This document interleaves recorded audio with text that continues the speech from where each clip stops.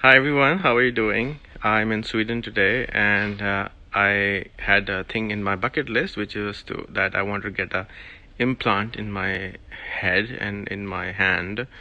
Um, so today I am having the opportunity through a friend that he would help me get chipped today, and I will have an implant in my hand, and that will allow me to open doors, hopefully uh, talk to my phone hopefully do certain things with my Alexa and Rehan AI.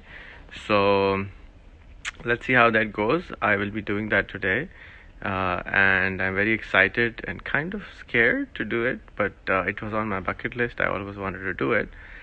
So I'm very thankful that it has opened up the opportunity, and let's see how it, that happens. So keep tuned in uh, and follow the journey. Uh, it's going to, inshallah, happen today. Thank you.